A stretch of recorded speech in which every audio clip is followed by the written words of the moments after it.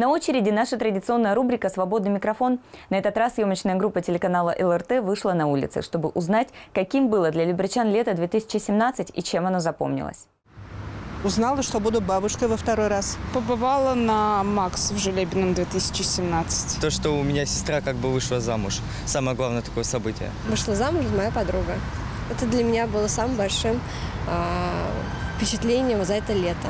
Не знаю, на работу устроилась. Мы подписали контракт и переехали жить в Москву с больницей врачи, поэтому очень счастливы. Наверное, все, что связано с ребенком сейчас, на самом деле. Скоро вот пойдем ножками сами. У меня девушка беременная.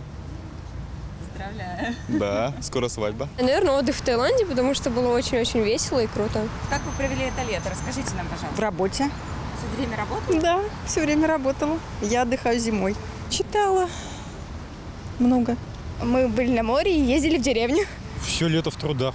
Была в деревне, была в Крыму.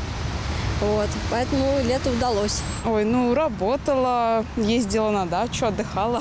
Так обычно. Мы ездили в Турцию отдыхать, Мармарис. Ну, ничего плохого не случилось, слава богу. Хорошего. Ну, хорошо еще впереди, наверное.